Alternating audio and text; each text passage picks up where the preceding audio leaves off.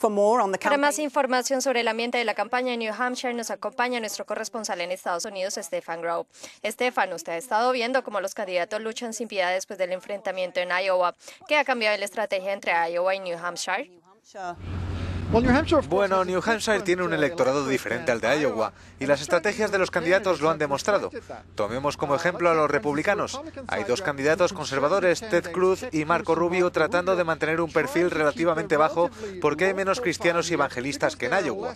Así que estos dos candidatos solo necesitan un resultado relativamente fuerte para lanzarse a los estados más grandes a finales de mes. Por su parte, Donald Trump, humillado al conseguir la segunda plaza en Iowa, ahora tratará de ganar aquí para permanecer en la cima de la carrera. Luego, por supuesto, tenemos a los gobernadores y exgobernadores que les fue muy mal en Iowa. Todos ellos están en una carrera por la supervivencia. Si no logran buenos resultados en New Hampshire, podrían quedar fuera de la carrera rápidamente.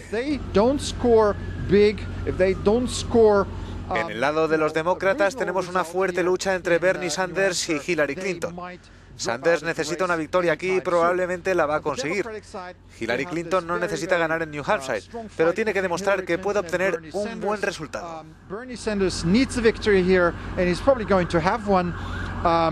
To stay in the conversation. Hillary Clinton um, doesn't need to win here, but she needs to show that uh, she can finish strong against all odds here in New Hampshire. En toda elección presidencial, New Hampshire es siempre un voto simbólico. Sin embargo, las primarias de 2016 se ven más atractivas que en otros años. ¿Cuál es el ambiente actual entre los votantes con los medios de comunicación del mundo entero mirando con lupa las primarias?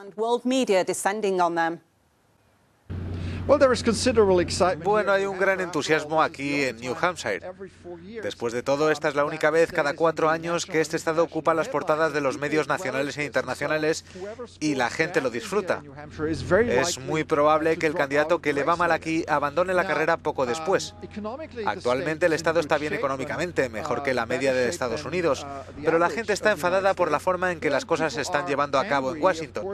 Los demócratas están molestos porque creen que Obama no ha estado lo suficiente presente, por lo que sienten que pueden hacerlo mejor. Los republicanos están molestos porque dicen que a pesar de ser mayoría en el Congreso, están dejando que Obama establezca su agenda nacional. Y esto es algo que ellos odian. Ellos quieren tener un nuevo presidente republicano que deshaga todo lo que Obama hizo.